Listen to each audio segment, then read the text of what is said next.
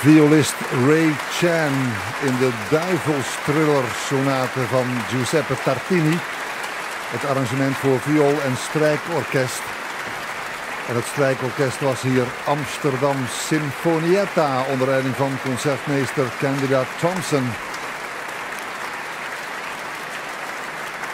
Ja, je moet wel een beetje een beest zijn om dat stuk zo te spelen.